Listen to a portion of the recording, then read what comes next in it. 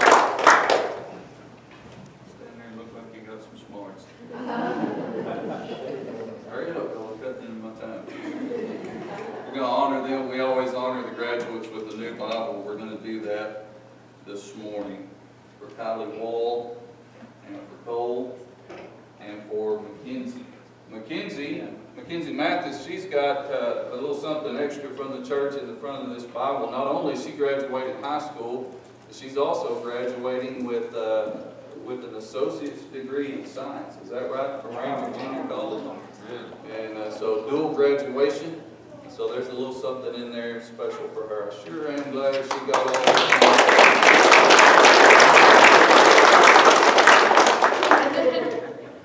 She said, well, I may have got it from dad. I said, I've known your dad longer than you have. Well, let's give him another hand.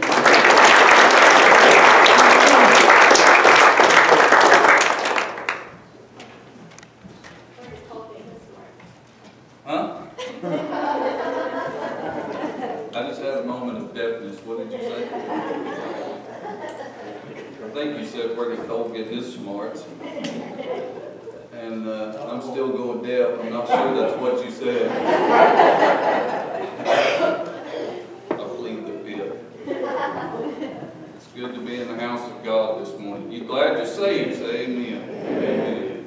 God is good. Well, uh, this coming Wednesday evening, this next Wednesday evening, uh, we'll be leaving the church at 6 p.m. We're going to travel, carpool, however you want to get there. If you can walk, if you can run fast enough. But we're going to go to Al and Patty's, and uh, we're going to have a time of singing, fellowship over there with uh, with Al and, and Miss Patty, and uh, Brother David arranged that for us. We're going to leave here at 6 p.m. Church is usually at 7.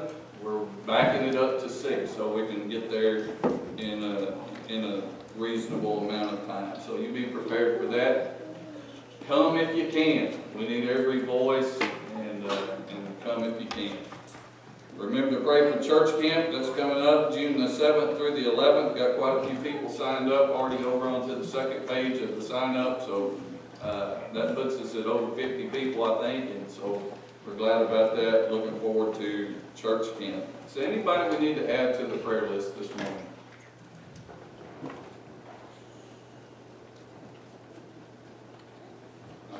I don't know whether to pray for more rain or pray for it to stop.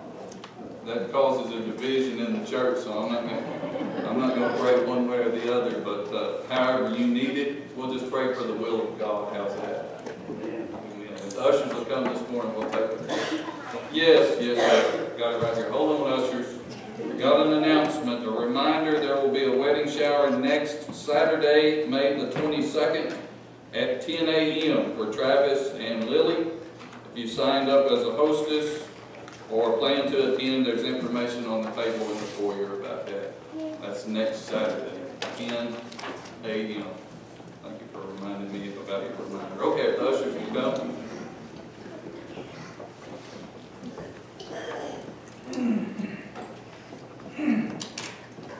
Let's pray. Heavenly Father, we thank you for the opportunity to be in your house this morning. Lord, we thank you for your goodness to us. We thank you that when we were lost in sin, that you sent Jesus to die for our sins, that we might be saved. Lord, we thank you that we can put our hope and trust in him and know that we know that we're saved and on our way to heaven. Lord, we just thank you for the church that you planted here in this place. We thank you for the opportunity to meet here today. Just pray a special blessing on the services, all the singing, the preaching, Lord, that it would be according to your will. Bless this offering now. In Jesus' name. This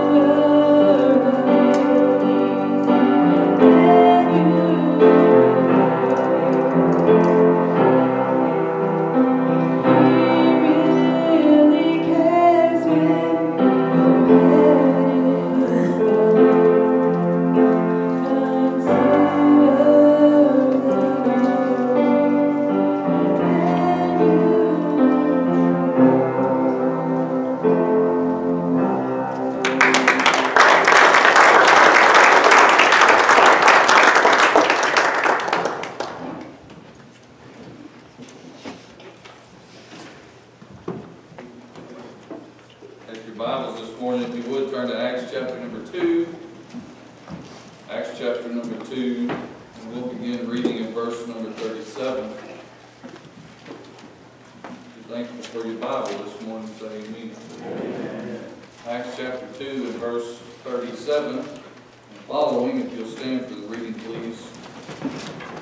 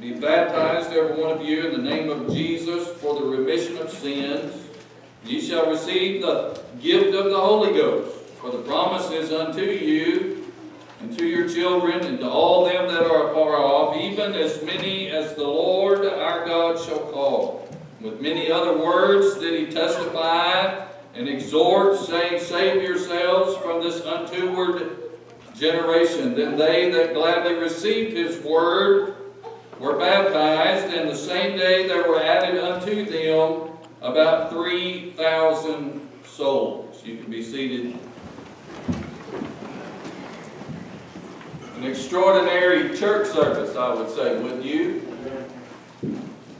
We've been looking at Peter's sermon, the day of Pentecost, and he grabbed a text out of the book of Joel and started preaching about the Holy Spirit of God. And he brought up an illustration earlier on in chapter number 2 about King David, how that David was the king that sat on the throne of Israel. He was God's man for the day, but he just uh, he was just a just a beacon, just a point, just one to point to a king that would come after him that was even greater and better, and uh, and that is of course the King Jesus, who is King of Kings and Lord of Lords. And he's used this sermon to bring it down to the point. Verse number 36, Therefore let all the house of Israel know assuredly that God hath made this same Jesus whom ye crucified, both Lord and Christ. He's brought it down to the point of this. And I like it in verse number 37. These folks didn't wait for the invitation song. They didn't wait till the second, the second verse of the invitation to get, to get sang or to get started. But, uh, but all in one accord, those that were interested, they busted out with that, that wonderful question that we find at the end of verse 37. What shall we do? If I was you this morning, and if I was lost without Christ, and if I was headed towards a hell, uh, eternity in hell, if I was you, if I was you, I'd be asking, what shall I do? Sirs, what must I do to be saved? Is what we find in another place in Scripture. If I was lost, hey, separation from God is too far. Heaven and hell is too real. Eternity is too long to spend another second lost and undone without Christ. If I was you and I was lost, I wouldn't wait another minute. I would grab one of these saints of God and ask them, what do I need to do? What do I need to do? Verse 37, I want to look at the operation of conviction. It says they were pricked in their heart. Their coming under conviction was brought on by several things in these people's lives, although it was all under the or through the orchestration of the Lord. And the Lord knows just how to orchestrate stuff, doesn't He? Uh, their circumstances come into play. Uh, they were there on the day of Pentecost. That was a special time and, uh, and a special, uh, they were there for a special reason. It was a high time, and God used that to grab their attention, to, to bring them to a place where they would think on these things. That is the gospel of Christ. Not only were they there for Pentecost, but they had just recently witnessed the crucifixion as Israel did, witnessed the crucifixion of Christ. They knew about what Peter was speaking of. This was a, a, a time, not necessarily a high time for them, but nonetheless uh, something, a circumstance in their life that God used to bring them to the point of conviction. It's the same way in your life and in mine. Maybe it's some tragedy that God can use. I recently talked with one of our church members about a tragedy that took place in their life and in their family, and that's when God started begin to working on their heart in order for them to be saved. And, uh, and, and, and maybe it's a tragedy. Maybe it's a time of joy or some event. For me, it was simply, uh, it was simply a, a, an event that took place in our church where a Sunday school classmate of mine got baptized. Now, I didn't run down there just because he got baptized. I didn't know what in the world he was doing. But I sure wanted to know about it, and I began to think about it, and I began to ask about it. What shall I do? And I'll never forget that. The circumstances in our lives. God also uses the people in our lives. These folks never dreamed that they would come for this feast and this high time in Israel They never thought that they would ever cross paths with these uh, with these old Baptist preachers, if you will, these preachers of the gospel. They never thought that they would cross the path of this local New Testament church that they come in contact with here on the day of Pentecost. Never crossed their mind. Maybe it is that God will put you with people that you never thought you would ever cross paths with in order to bring about conviction in your life. Or maybe it is that the people that you're always with, the people that's just commonplace, your mom and dad, your grandma, your church people, maybe it is those people who God will use to do something in your life you never thought that they would do. And they can uh, they crossed paths with these people. Not only that, but God put the Word of God in their path, the truth of God's Word. All of the people, all of the circumstances, that's not going to amount to anything if the, if the person uh, in question is not, uh, is not confronted with the truth of God's Word. There was a specific message that these people, these preachers, had to deliver, and that is the gospel of the Lord Jesus Christ. But then also, working toward their conviction was their willingness to listen. In verse number 22, Peter got up to preach, had been preaching, and he said, You men of Israel, hear these words. And they did. They listened to what he had to say. That was a choice of theirs, and they chose to listen. You say, Preacher, I, I've never felt Holy Spirit conviction. I've never felt the Lord dealing with my heart about salvation. Maybe it is because you've never gave Him two seconds of thought in your whole life. Maybe you've sat through sermon after sermon and you've never listened. I implore you this morning one more time to give ear and listen with the intent to hear what God is saying to you today. God takes it all all of this, and he goes straight for the heart. It says they were pricked in their heart. You understand? He bypasses, God that is, he bypasses the mind and goes straight for the heart. Can I remind you this morning that you can know everything there is to know about God and still be just as lost and on your way to hell as can be? It's not an intellectual assent that we make to God, but it is with the heart. I believe Paul said in the book of Romans, with the heart man believeth unto righteousness. It's a matter of the heart. And the heart begins to inquire in this text, what shall I do? In verse number 38, we find the order of events that we need to set straight. Verse 38 is a very controversial verse in Scripture. Acts 2.38, there's denominations that are based upon this one verse of Scripture. It says, Repent and be baptized, everyone in the name of Jesus Christ, for the remission of sins, and ye shall receive the gift of the Holy Ghost. Now, what in the world is a Baptist going to do with that verse?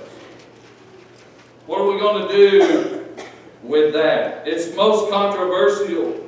It's been used as a proof text for those who adhere to the doctrine of baptismal regeneration. That's just one of those 25 cent terms that means that they believe you have to be baptized in order to be saved. Can I tell you this morning, I thank God for that baptismal tank. That's what got me into the church. But even before that, even before that, I was already saved was already saved and on my way to heaven. Very controversial text. There's a principle in hermeneutics, in interpretation of Scripture, that says we must let Scripture interpret Scripture. If it doesn't make sense, you read it and it says, hey, this don't seem to fit in with the rest of the Bible, and we have a decision to make. Either all of those other verses that talk about the same subject are wrong, and this one's right, or else all of those other verses are right, and this one is uh, not necessarily wrong, but uh, we're not interpreting it right. We're not seeing what it's really saying. And I think that's what's happening here. Uh, the, the Acts 2.38 doesn't seem to fit when we read it, and we get hung up on the on the uh, on the repent and be baptized part. uh, but, uh, but there's more, there's more, if I could say it like this, there's more wrong with that verse than just what we're giving attention to. And I don't mean that the Bible's wrong, I mean we don't understand it. And so, let's look at it. First of all, in, in, in interpreting Acts 2.38, using the rest of the Bible, I'm talking about the whole rest of the Bible, we find that part of Acts 2.38 is not in chronological order. It's not in chronological order. Some of it is repent, or that, that's uh, repent. That's the word we're going to use here to be saved, to turn to Christ and put your faith in Him. To repent and baptism, they got that in the right order. Somebody say Amen. Y'all still with me? But then it says, and ye shall receive the Holy Spirit. That's not in chronological order. When someone gets saved, they receive the Holy Spirit the instant that they place their faith and trust in Jesus Christ. And then we are baptized in, in obedience to the Lord. So, uh, so it's not in chronological order. Part of this verse is not conditional for salvation. Repent, we can say that's that's, uh, that's, uh, that's part of being saved. We repent and believe the gospel. That all happens at one time. We repent, we turn, that's what the word means, and place our faith in the Lord Jesus Christ. That's conditional for salvation. If you've never trusted in Christ as your Savior, you're not saved. It's as simple as that. We could say that receiving the Holy Spirit definitely has to do with being saved. Romans chapter 8 tells us that uh, those that have received not the Spirit are not are, are none of His, that they're not saved. So the instant we get saved, we get the Holy Spirit. Those things have to do with being saved. Would you agree with that? But it says be baptized. Repent, be baptized. That's the controversial part of Acts 2.38. And it all hinges around one word that's translated into the English, the word for. Baptized for the remission of sin. Those who adhere to the doctrine of baptismal regeneration say that it means, the word for means in order to obtain. Baptized in order to obtain salvation. That is their translation. That is their, uh, that, that, that's, that's the way they translate that Greek word eyes, E-I-S. In order to obtain. And we know that for can mean that in our, in our language today. For example, we say that you're going to go to the store for groceries. You're going to go to the store in order to obtain groceries. That's, that's a correct way to use the English word for in our day and time. But can I tell you this? The word ice, Greek, E-I-S, is translated, I believe, almost, if not more than, 1,700 times in your King James Bible, and you'll never find it translated in order to obtain. Never. Uh, I couldn't find it. I don't think it's in there. We find it used in other ways, though, that are just as accurate and just as true to the Greek and to our English translation Go with me a couple of places. We're not going to look at 1700 scripture, but I want to show you two places. Matthew chapter number 6.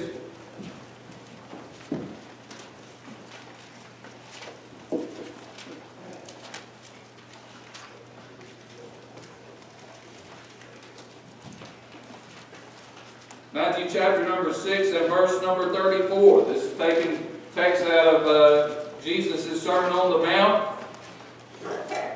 Matthew 6 and verse 34. Take therefore no thought for I-E-S, uh, I mean. Uh, the Greek word is eyes. Take, take therefore no thought for the morrow, for the morrow shall take thought for the things of itself sufficient unto the day is evil thereof. Take no thought there, uh, take no, take therefore no thought for the morrow. Now, does that make sense to say, take therefore no thought in order to obtain tomorrow? That don't make any sense, does it? No, the word for in this in this case would be would be a, a, a translation of because of. Take therefore no thought because of tomorrow. or unto tomorrow, or concerning tomorrow would be a word that we could use. Go over to Luke chapter, Luke chapter number 12. I won't make you do any more flipping after this. Luke chapter number 12.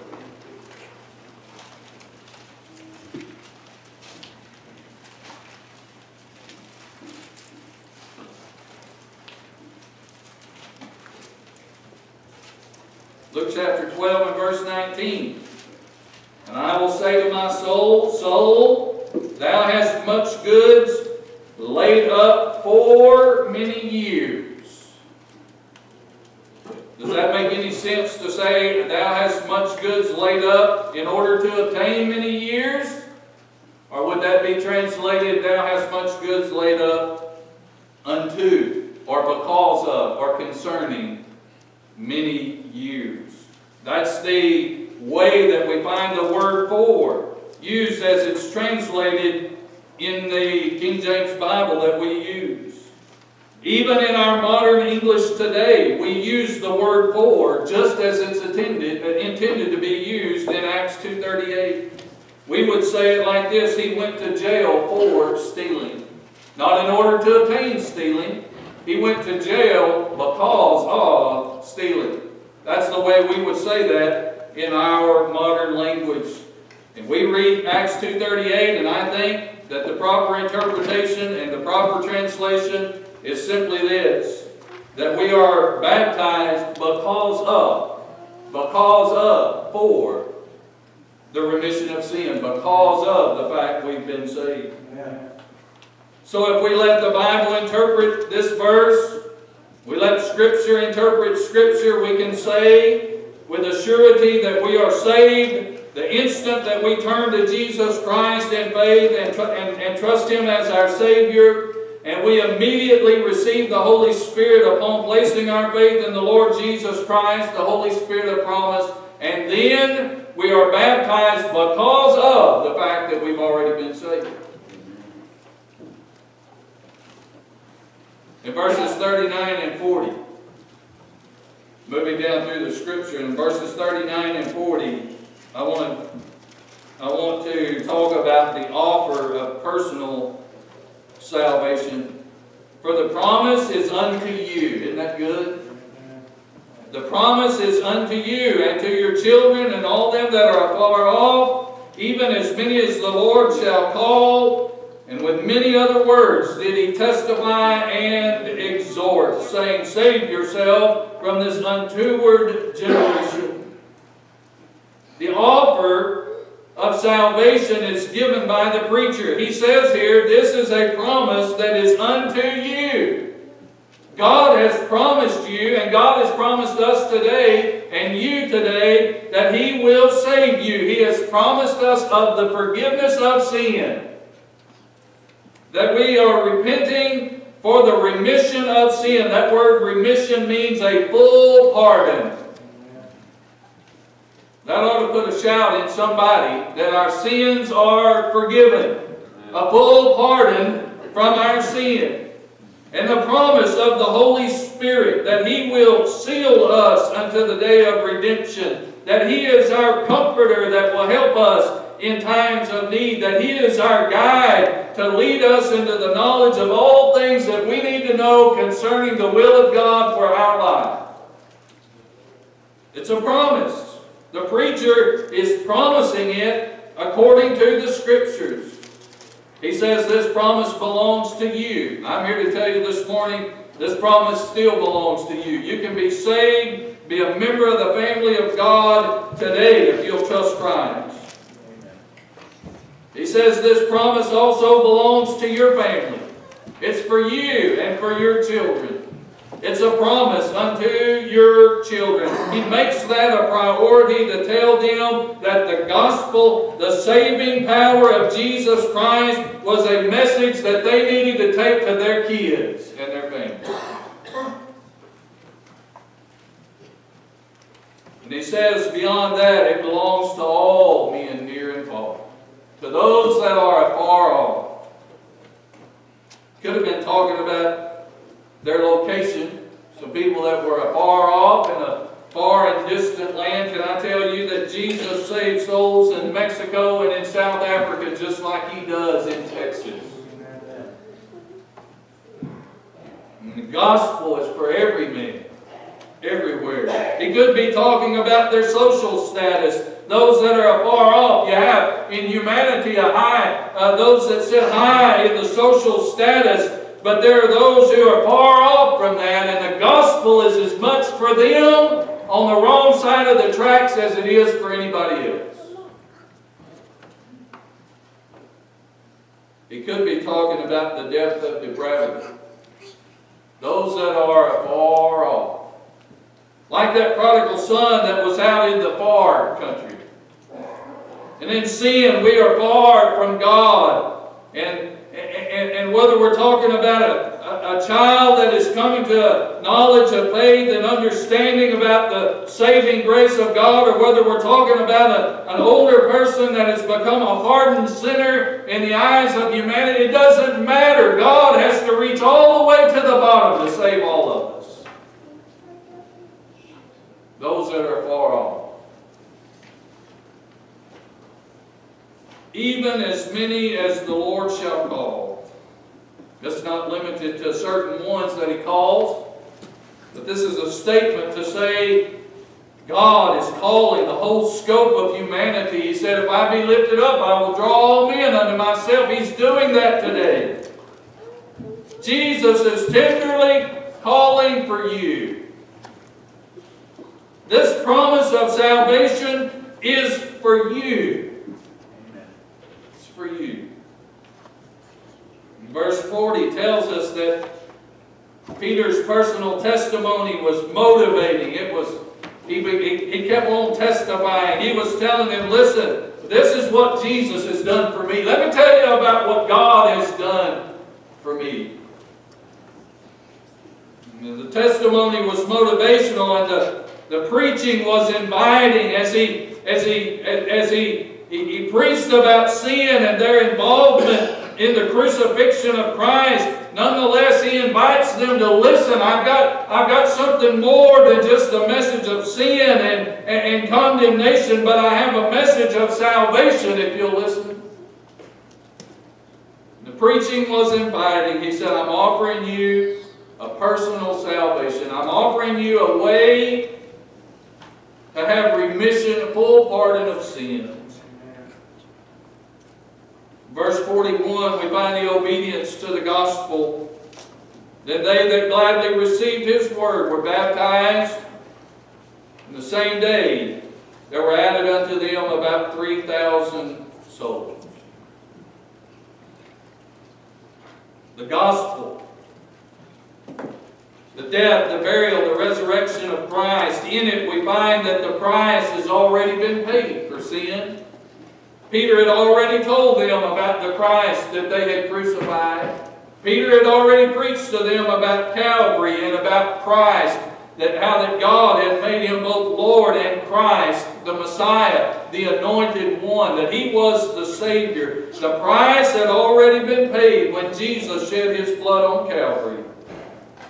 The victory over sin had already been secured uh, Peter talks about David, and he said, David, but his bones are still up there in that sepulchre. But there's a Savior, there's a God in heaven who sits at the right hand of the throne of God, the Savior, the Redeemer, and he sits on high and he looks down low and he rose from the grave, giving us victory over sin, death, and hell. The empty tomb had already taken place. The payment for sin had already been made. The down payment for redemption had already been promised.